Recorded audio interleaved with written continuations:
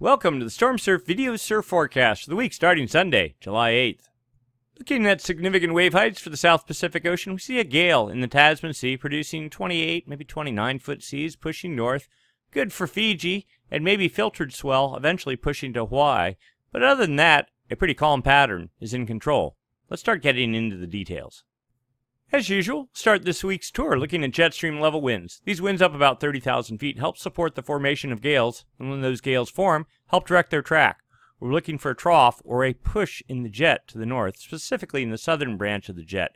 Here's the northern branch here running yeah, roughly on the 30 south latitude line from east to west, but it is the southern branch that is for far more uh, contributing to support for gale development. And right here is a trough. You see it? Not particularly strong. Winds maybe uh, 90 knots pushing up into it. But we already know from looking at the significant wave height chart, there's something going on in this area. We assume it's a gale, and we assume it is producing seas, and that is supported by this trough.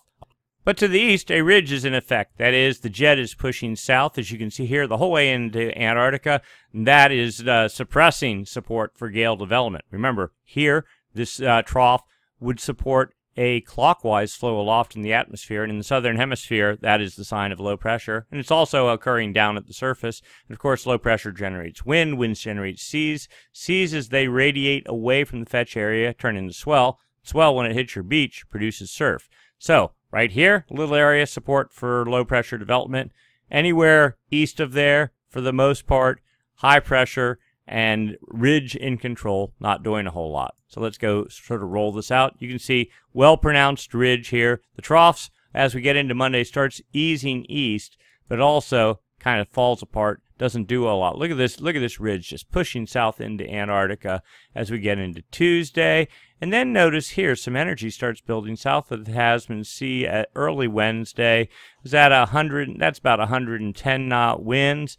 Now, right in here, that's a little tiny trough. That isn't much. Probably not an, probably not a lot to do anything. But then as you get into Thursday, uh, so the ice line is right around here, around 65 south. So there's not much, but there's a little bit of a push here with winds. Uh, was at 110 knots or so? Maybe some support for gale development. And then here is a much more energetic flow, 140 knot winds. Let's see, there we go, to almost 150 knots, pushing north. That would help support low pressure, again, southeast of New Zealand as we get into Friday, continuing off into the central Pacific on Saturday. And then, of course, winds die, and so the trough and support for gale development fades with it. And let's go. We're almost here. Here we are into Sunday, but you know, the trough doesn't completely dissipate. 110 knot winds continue Sunday into Monday, so maybe some renewed support even after that. So the pattern actually, though it's not super great, looks way better than it's been uh, for the past couple of weeks with some support. It looks like the uh, New Zealand swell uh, storm corridor right in this area, right in here, might wake up and then eventually start moving towards the central South Pacific as we get a week out. All right, let's go take a look uh, down at the surface, see what it tells us. Here we are, surface level pressure, surface level winds. Clearly, low pressure was at a 972 millibar low right here with 35 knot winds pushing north to northeast, filling pretty much the Tasman Sea. Certainly, that would generate some seas. And it actually was a bit stronger, uh, maybe 12 hours ago, but nothing huge. Still solid nonetheless. Anyway, that pushes in into New Zealand as we get into Sunday night, falls apart.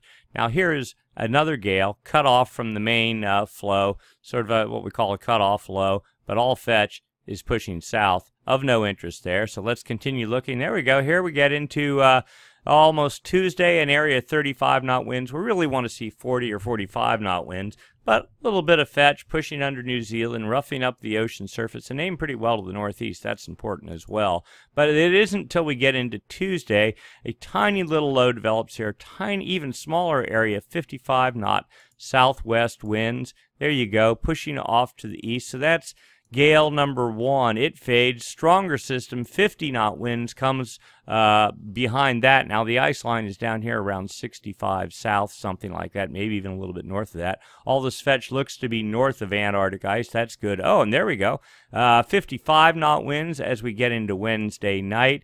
and continuing into almost Thursday morning, still 50 knot winds. Now, most of this is aimed to the east. The ideal setup is fetch pushing to the northeast, especially if you want to target Hawaii. Uh, you get more sideband energy. Uh, Probably not a lot of sideband energy for Hawaii, but maybe for the U.S. West Coast. Most of this energy looks like it's going to be uh, targeting Central America and South America.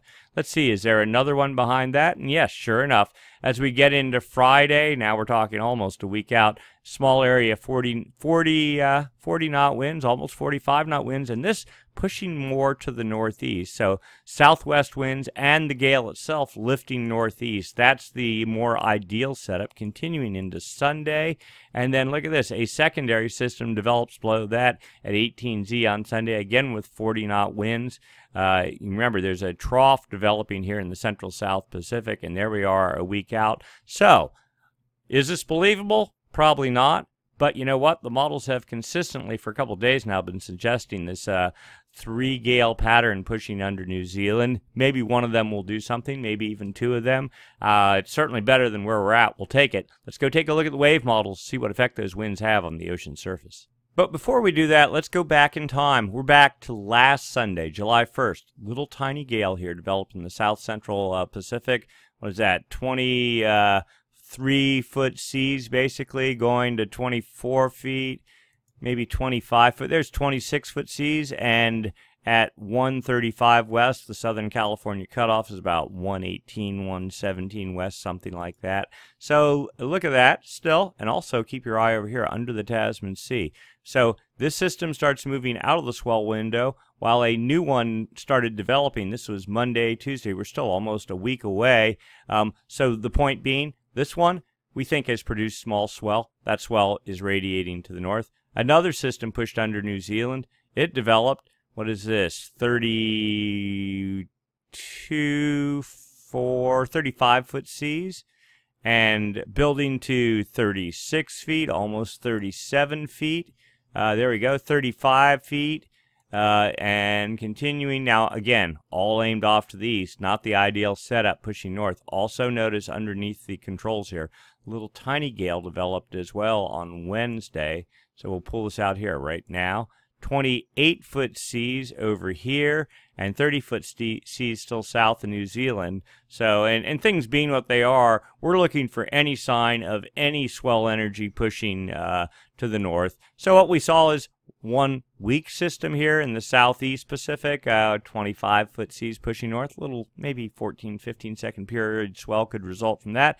Another system under New Zealand with 35 foot seas, so that could make uh, you know 18 second period swell, something like that. Then another tiny little system also uh, with 28 foot seas, another little pulse of like 15 or 16 second period swell. So there is Oh, and yet another one, but this was all aimed off to the east on Friday, and we'll just sort of roll this out just to be complete. And that gets us here. And then here's where we're coming up to almost today the system moving into the Tasman Sea, 30 foot seas, again, for Fiji.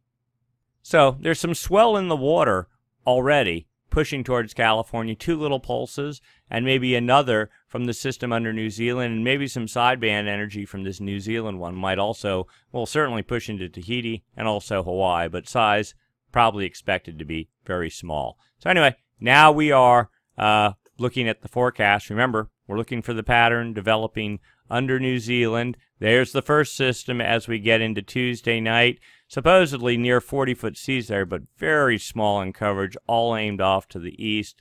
Lucky if any any rideable swell de- develops from that. But this system now, the second system on Thursday, we're looking at 45, 46 foot seas, again off aimed off to the east, certainly focusing on Central America, South America, but sideband energy as well, possibly up into Hawaii and the U.S. West Coast if it develops and gets a little secondary pulse there, almost starting to push a little bit off to the northeast on Friday. And then another system behind that on the date line, well to the south, 32 foot seas, lifting northeast, continuing. See, it's that northeast push that really does more than just bulk seas. It, it really helps focus swell energy towards California and Hawaii. And then let's see, we'll just roll this out and then sort of fades in the central South Pacific. But still, the model's looking a bit better. And while we're at it, let's take a look at wind swell potential. So we're looking at surface level pressure, surface level winds. There was a little fetch of easterly winds here pushing into Hawaii, but that pretty much is fading. It was driven by high pressure here north of the islands, but that high pressure not doing a whole lot. The fetch is right up along the islands, doesn't extend even a couple hundred miles east, no good. Also, there is some fetch in California um, associated with the same sort of high pressure ridging in. Most of the core of the fetch is like off of Morro Bay, Big Sur type area. But still, even up in San Francisco, there were some, you know, chest high, wind swell, short period, junky waves better than nothing. Uh, you take what you can get, right? Anyway, so as we get into Monday, that fetch continues along the California coast, and uh, rather uh, calm wind swell pattern continues for Hawaii. We'll just roll this out Tuesday. Now, notice the fetch. New high pressure, 1032 millibars, builds filling the Gulf of Alaska. Fetch builds north up into California, 20, 25 knots, nothing spectacular, and a bit of fetch trying to work its way towards the Hawaiian Islands, but not quite there yet. So we get into Wednesday, 30 knot fetch off of North California. This is maybe good for uh, wind swell down into yeah, somewhere in central California. And also notice the fetch trying to build into Hawaii, maybe some wind swell there. And so wind swell mainly for California. Now notice heat low inland, that should start to generate south winds relative to central California and maybe northern California up to almost Point Arena, maybe something like that. And that continues. Now, here's our fetch into Hawaii as we get into Thursday. Northeast wind swell possible then. That continues. Fetch continues off California, but pretty much off the coast now. Sort of looks like, well, there we go. It continues. Mainly more Oregon. Not sure how much wind swell will actually result in California. Eddy flow continues. South winds along the coast. There we go. Easterly fetch into Hawaii. Still into Saturday. That continues. And wind swell looks like it's fading out as we get into the weekend for California, focusing instead on Hawaii. That's a week out now. Strong high pressure here over the northwestern Gulf of Alaska, still at 1038 millibars. And we'll just, there we, oops, that's it. We are at 180 hours, 15 knot fetch along the California coast. That's not doing much. You really need 20, 25 knot north winds up here in this area to get wind swell down to California. But it's right over the Hawaiian Islands, 15 knot fetch, maybe even a little bit more. So wind swell there. So the short of it, yeah, wind swell for California. Uh, the early part of the week fading towards the weekend. Conversely, no wind swell for the early part of the week for Hawaii, but building later in the week. All right, what's going on long term? Let's look beyond a week to the next month, two months, maybe three months, maybe more. Madden-Julian oscillation helps uh, helps uh, dictate what's going on there, and certainly the El Nino Southern Oscillation. We want to see is El Nino developing. So as usual, we start with the MJO discussion first. We look on the equator. East Pacific here, West Pacific here. Here's the equator.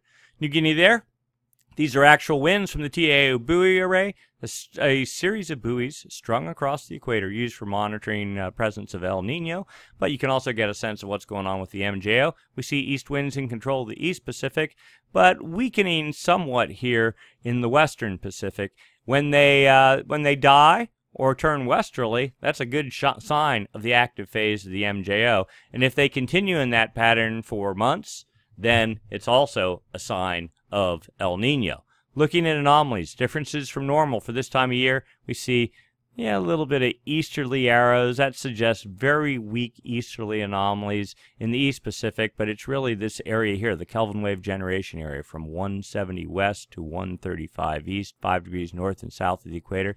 We see kind of a kind of a mix. There's a little bit of a, a, westerly arrow, but there's also some easterly arrows. So basically, a neutral MJO pattern looks to be setting up here. It's when the winds turn westerly, then that's an indication indication of the active phase of the MJO. And that in turn, of course, helps pump energy up into the jet stream. When the jet stream's strong, that helps fuel storm development. And when you have storm development, then you get surf. So what's the pattern been the past five days? Well, okay, let's go look in the Kelvin wave generation area. So from 170 west to 135 east, there's New Guinea right there, five degrees north and south of the equator. The blues and the arrows suggest easterly anomalies. That was on July 2nd. We just sort of, and you see westerly anomalies here, but they're, for the most part, north of the Kelvin wave generation area. So we're just we're scanning down here. Yeah, maybe little bits of westerly anomalies in the Kelvin wave generation area, but kind of this mixed bag. It's a little bit more pronounced here now as of the past couple of days, mainly on the dateline, westerly anomalies building a little bit. So what's the forecast? All right, zonal wind anomalies, here we go. So this is differences from normal for this time of year. In, and we're going, so the, uh, I'm sorry, this is the whole planet on one chart. The date line goes right down the middle here. Kelvin wave generation area between these two tick marks you scan down. You see the yellows are westerly anomalies, the blues are easterly anomalies. So you get this kind of a, mainly it looks like the inactive phase of the MJO because we have easterly anomalies until we got to about July 3rd and then westerly anomalies started building. Now here's what's interesting. This model and we're, we're beginning to be suspicious about this particular depiction of the GFS uh, data. It's showing a large, strong bulbous of easterly anomalies building here on the date line. Nothing else is showing this. We're not believing it. This chart was down for a week or so, and when it came back, some strange stuff has been going on. So just keep this in your mind. This model says strong easterly anomalies on the date line with westerly anomalies in the far west Pacific. None of the other models are saying it. So let's continue on.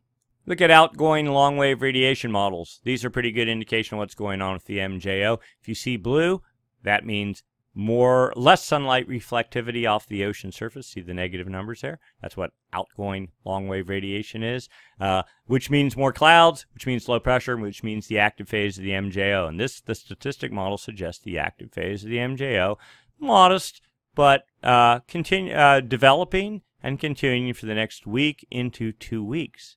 The dynamic model, the GEFS model, that same model that was uh, given that one chart that was giving us heartburn is also showing the same thing, only showing that the active phase of the MJO is to build really strong, pretty solidly, up to two weeks out. So we think that other chart, there's just something wrong with it. We're kind of blowing it off right now. We'll probably go write the author and say, hey, we, we suspect, suspect that something's wrong. All right, uh, let's see. Phase diagram charts next up. So assume you're looking this you're looking down on the north pole of our planet, and the MJO, active and inactive phases, move from west to east, from the Indian Ocean over the maritime continent, across the West Pacific, over the dateline, under the United States, across the Atlantic, over no North Africa, back to the Indian Ocean, round and round, perpetual cycle. The heavy dot is where the active phase of the MJO is, so basically, let's say over Bali. If it's inside the circle, it's very weak. But the forecast for this, the ECMF model says, supposed to build moderately, modestly strong, and start moving to the west, building over into the far west Pacific two weeks out. The uh, GEFS model same model that uh, suggested uh, erroneously that uh, that something that the opposite was going to happen is also suggesting the active phase of the MJO moving into the West Pacific two weeks out. So the, both these models are pretty much in sync, and this is good news. The 40 day upper level model, okay, so the areas that are yellow are considered the inactive phase of the MJO, uh, not supportive of precipitation. The greens, supportive of precipitation and therefore the active phase of the MJO suggests the inactive phase here is moving over. Oh, and where's the equator? Right here. There's South America. There's New Guinea, Philippines there.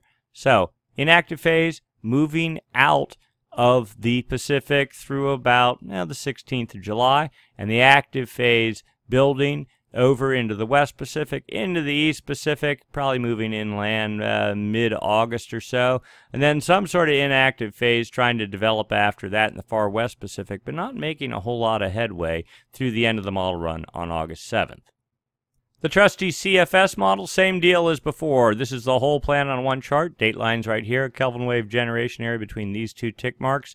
This is past performance here, and this right here is our current inactive phase of the MJO, and you can see easterly anomalies associated with it. But the interesting part here is from July 7th on, uh, on the date line, yeah, a little tiny area of easterly anomalies, maybe the next four or five days. That fades out, and then from then on, you see westerly anomalies starting to build in coverage. And this only goes out, what is this, one, two, three, four weeks, so a month. So a, we're, the thought is we're entering a regime influenced by westerly anomalies, both in the Kelvin wave generation area and east of the Kelvin wave generation area. And we'll get into that in a second. And then the three month uh, CFS model, again, 850 millibar winds. These are winds up about 4,700 feet, something like that. Good proxy for what's going on at the surface. Kelvin, uh, date line runs right down the middle of the chart. Now, this one, past performance is down here, and the future is forward. And there's something that stands out very clear looking at the forecast, starting out maybe a week or two from now. Look at this westerly anomalies, fully in control of the core of the Kelvin wave generation area and building fairly strong uh, from July, August, September-ish time frame, nonstop. All easterly anomalies, if they are present, they are east of the Kelvin wave generation area. This speaks to perhaps the development of El Nino. All right, so let's overlay the MJO. What's going on? Here's our current inactive phase of the MJO. I'm sorry, actually, this is past performance. So it for the here's today. It's supposed to move off to the east. A little bit of easterly anomalies on the date line, maybe for a couple of days. That fades out. As we get into maybe July 12th or so, westerly anomalies start. And then here is one active phase of the MJO, a second active phase of the MJO. We're not even going to call this an inactive phase or that. You just see steady, steady westerly anomalies. These are probably even a westerly wind burst. And what's the point of that? Well, westerly winds on in the Kelvin wave generation area help take warm water that's in the West Pacific and push it, push it to the east in the form of a Kelvin wave, a big ball of warm water that basically travels under the equator from west to east, uh, eventually erupting uh, off of Ecuador and the Galapagos, and that is the hallmark of El Nino, warming in the East Pacific Ocean on the equator, driven by the active phase of the MJO and driven by westerly wind bursts. So what's going on? We'll overlay the low pass filter. Here you go. And what is this? This solid contour here is basically read it as an atmospheric bias towards low pressure, okay, which is the equivalent of the active phase of the MJO, but not just a single active phase, a non-stop, long-running, continuous uh, active phase with stronger pulses and weaker pulses. This is the hallmark, in essence, of El Nino, low pressure in the Kelvin wave generation area. And the cool thing is, not is it only just one contour line, but it's three contour lines deep. It's started, it's actually in control as of now. This is earlier than expected. We've been watching the models. It wasn't supposed to happen for another week or two. It's already uh, decided to occur for whatever reason holding steady into late October, and that is supposedly what is going to drive these westerly wind bursts, and this is the fuel for the development of El Nino. So just looking, this chart now depicts the uh, strength of previous active phases of the MJO. Doesn't say where it is, just say its strength. But in 2015, we were in El Nino. You see some pretty strong solid pulses of the active phase of the MJO. And then here's your, your inactive phases that follow, but they're very weak. And then, then that sort of trickled off. And then where were we last year? Last summer, and you look in here in the spring, the MJO was exceedingly weak. We had no storm production. The surf was pretty much miserable.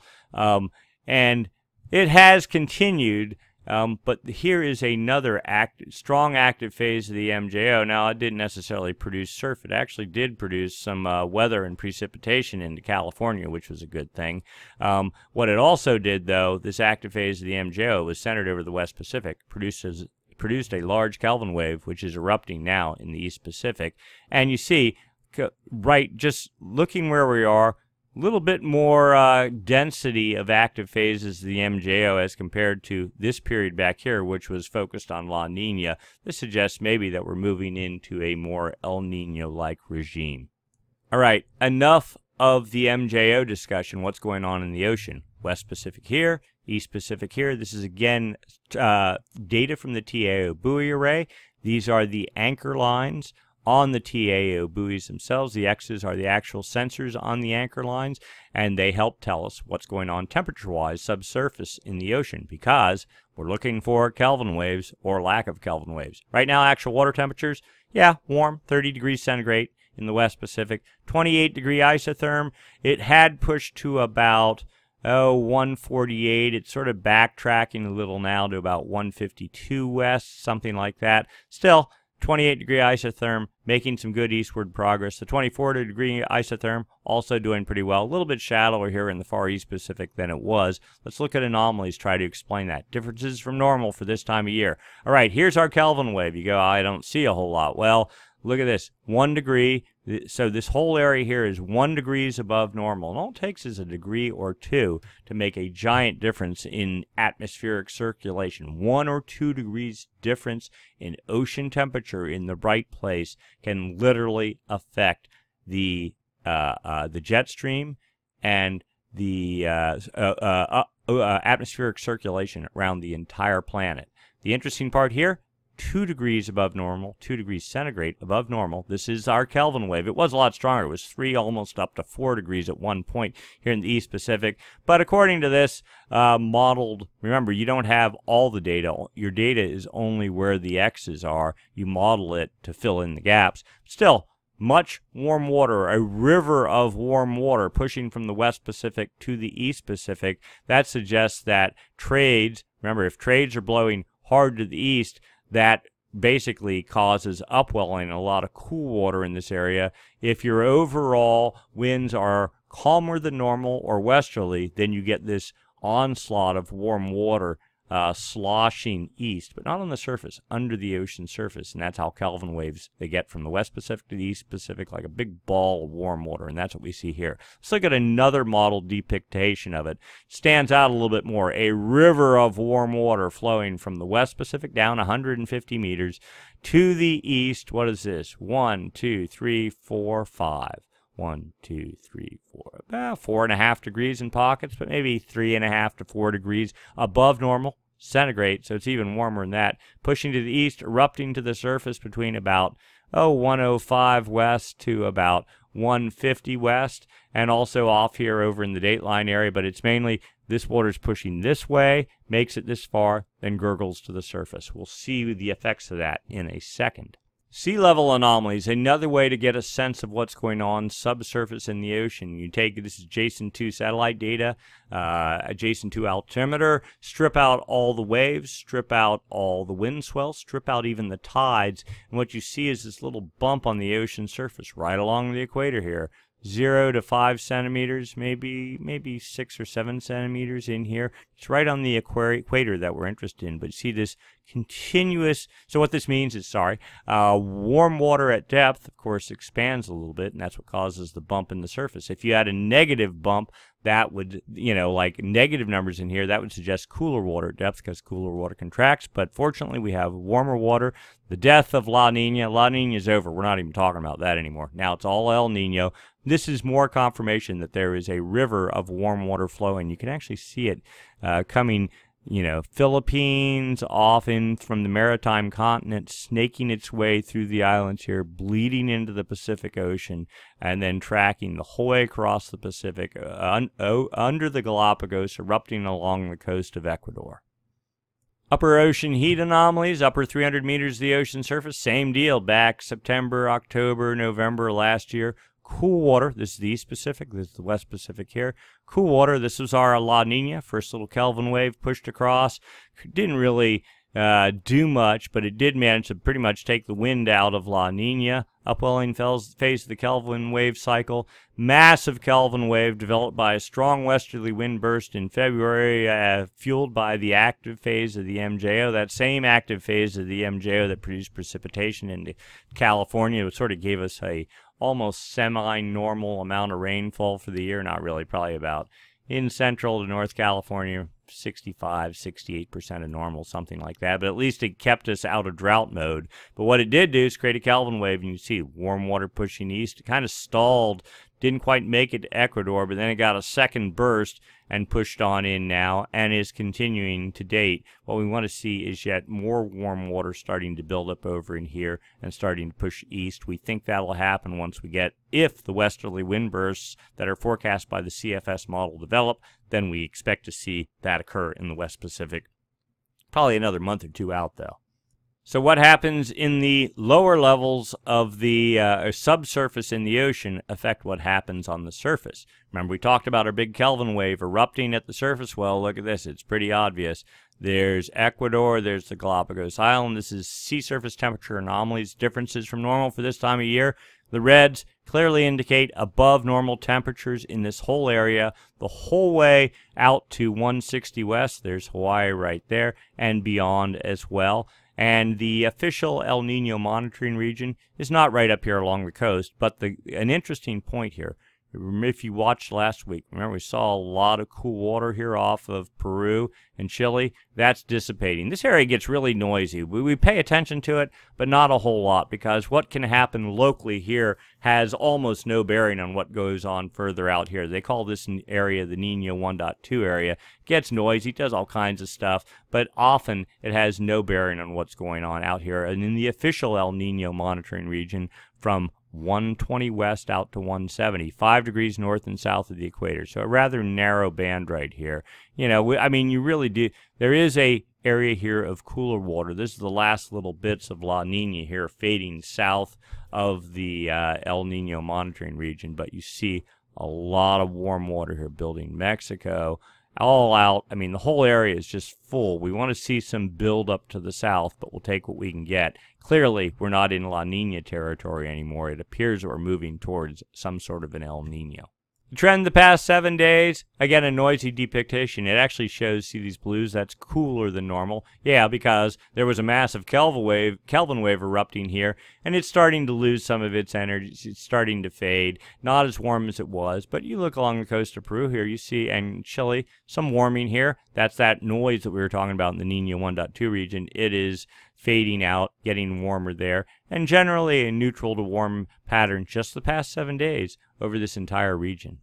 The backed off view, I mean, you just look at this and you go, the whole planet's oceans are warmer, warmer than normal looking at this, and you want to know? That's the truth. It really is. But what we really care about right here is the, the equatorial region, and specifically from 120 west to 170 west, north and south of the equator. So here's our last little bit of La Nina here, fading cool waters.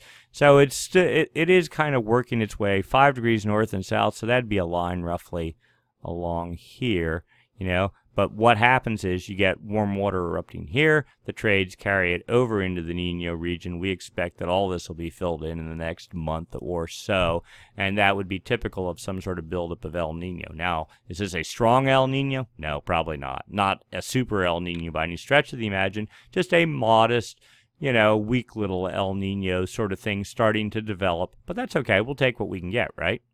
So here's the Nino 1.2 region temperatures. You can say, remember we said it's been warming the past week? Sure enough, here it was down here, it was at about minus one and one and a quarter degrees. It's up to minus a third of a degree, 0.330 today. So some warming there, but this is just noise region. We're not too concerned with that. This is the area we're really concerned with, the Nino 3.4 region, current temperatures plus a third of a degree, 0.323 right there. Uh, it was actually up a little bit warmer than that, 0.45 or something like that. You know, but you see it goes through these cycles. The MJO, winds, a variety of things sort of, uh, you know, affect it on a day-to-day basis. But looking back at the trend, we were down at about almost 0.75 a degree, three uh, three quarters of a degree below normal in mid to late April.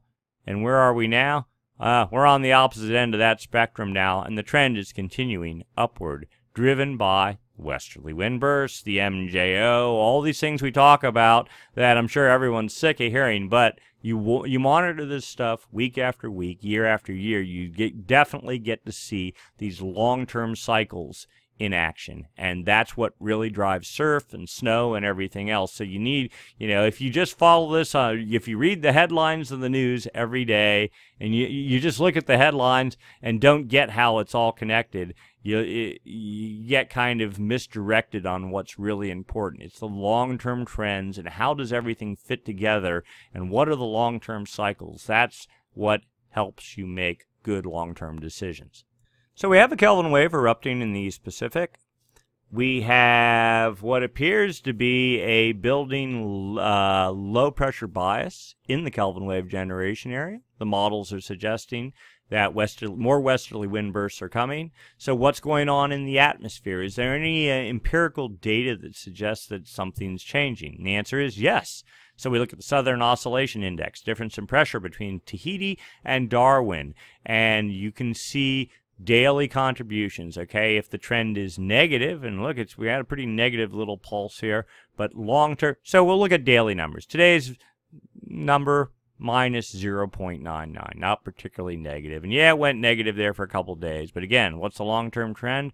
Well, you kind of look at this, and it's kind of been mixed, but it kind of looks like it's mixing more in favor of negative numbers versus positive numbers. Negative numbers suggest if a, for a you know maybe a 15 20 day run that suggests the active phase of the MJO. More than that, maybe suggests El Nino. The 30 day average. Okay, we strip some of the noise out. Average 30 days worth of data, and look look where we were back June 9th. We were positive 2.46. Look where we are now, and the trend is going more negative, minus 7.09, suggesting the active phase of the MJO is on the way. Now, you go even longer term, 90 day trend. What's that mean? Well, if it's, it's negative and stays negative, that suggests El Nino. So we were in the positive range, just barely, 3.78. Yeah, that's almost neutral. If we're positive 10, then I'd say, oh, we're in pretty solid La Nina territory. But what are we doing? Just look at the numbers, steadily going down, down. We're minus 2.32 today. So again, that's not strongly negative. That's not saying El Nino, but the trend is definitely going the right direction. In fact, here's the 30-day SOI graphed out so you can sort of see what's going. On. You can literally see the pulses of the MJO here. The negative pulses, the downward pulses, are the active phase of the MJO. This is back January 2016. Here was our La Nina. It was, yeah, up to 15 in a couple of little spots, 10, 12, that sort of thing. And here's where we, so we've had let's see, where was our big February pulse of the active phase, of the MJO, inactive phase, another big active phase. Looks like we're moving into yet a third active phase. What we want to see is this, and the, the number, the uh, average, the index is actually negative, you know, down about minus five or something like that, but we want to see this drop down to minus 10 or 15, like where it was back here, then that would suggest El Nino. But it probably will be a bit to get there. Remember, the atmosphere is just now really starting to get a sense that something significant is changing. We still have the hangover from La Nina. Okay, the atmosphere is a big boat. It doesn't turn easy. It takes a while. So there can be lots of noise and stuff going on. It's not till you get this consistent long-term sort of push of multiple active phases the MJO, Kelvin waves, westerly anomalies in the West Pacific, all that kind of stuff. Then the atmosphere goes, help, oh, something's changing in the ocean. I'm going to wake up and respond to it. And then when it does, it really starts responding.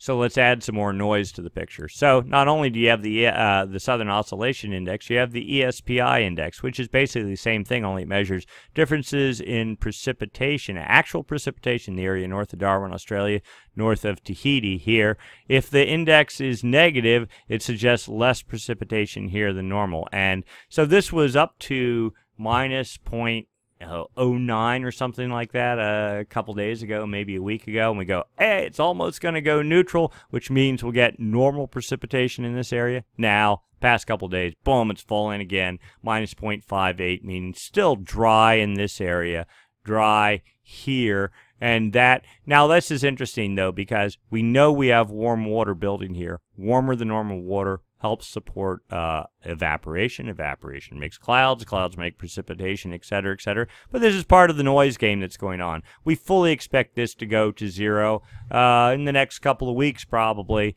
Um, and something's going on. I'm not sure what, but irrespective, we expect if El Nino is developing, this will go zero and then it'll start going positive. The question is, how far will it go? And then finally, the sea surface temperature forecast for the Nino 3.4 region. All right, so where are we? We're in July.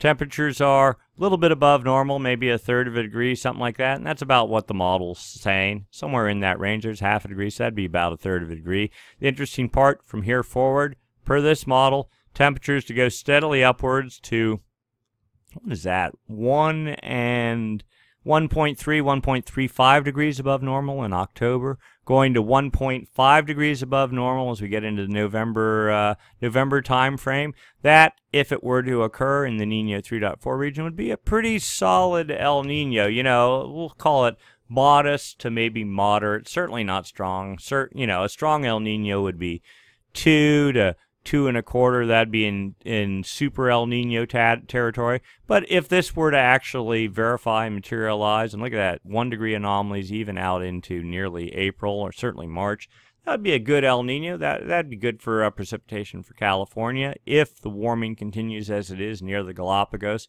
A somewhat eastward displaced uh, El Nino, not a Modoki El Nino. So the uh, basically this is what the model's been saying for weeks now. Um, and it appears that that is what is happening, but it goes in fits and starts. It's not consistent. It's uh, you know a step forward, two steps forward, one step back kind of pattern. But certainly we're heading in that direction. So to wrap things up, well, Southern Hemi's kind of trying to wake up. We kind of thought it would as we transition away from La Nina.